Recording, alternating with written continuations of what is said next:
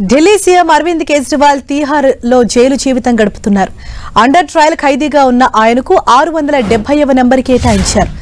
Jail number టూలోని ward number త్రీలో పద్నాలుగు అడుగుల పొడవు ఎనిమిది అడుగుల వెడల్పు ఉన్న గదిలో కేజ్రీవాల్ ఉన్నారు. ఆ గదికి అటాచ్డ్ బాత్రూమ్ సౌకర్యం ఉంది. జైలు గది బయట ఇరవై నాలుగు గంటల పాటు ఇద్దరు భద్రతా సిబ్బంది విధుల్లో ఉంటారు. కేజ్రీవాల్ను కలిసేందుకు ఐదుగురు సందర్శకులకు అనుమతిచ్చారు.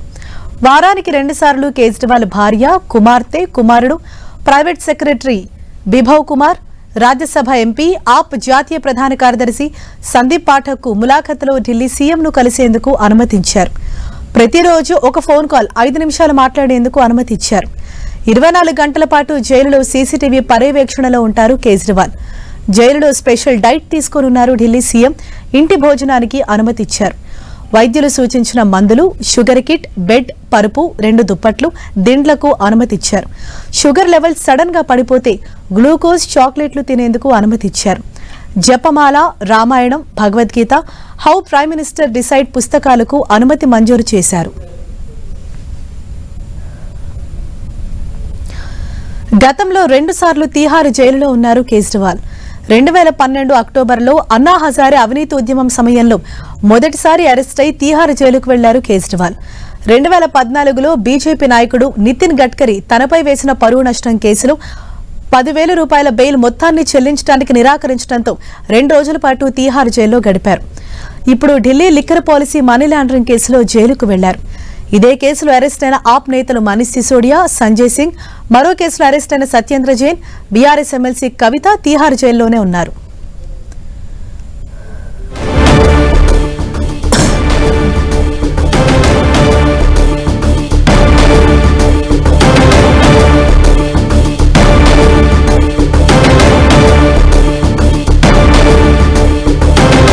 తీహార్ జైల్లో మిగిలిన అండర్ ట్రయల్ ఖైదీల్లానే కేజ్రీవాల్ దినచర్య ఉండనుంది.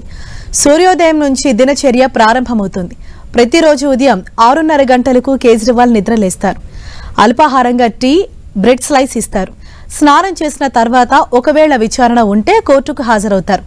లేదంటే తన న్యాయ బృందంతో సమావేశమవుతారు. ఉదయం పదిన్నర నుంచి పదకొండు గంటల మధ్య ఆయనకు భోజనం అందిస్తారు. మామూలుగా జైల్లో లంచ్లోకి ఐదు రోటీలు లేదా అన్నంతో పాటు పప్పు మరో కూర అందిస్తారు.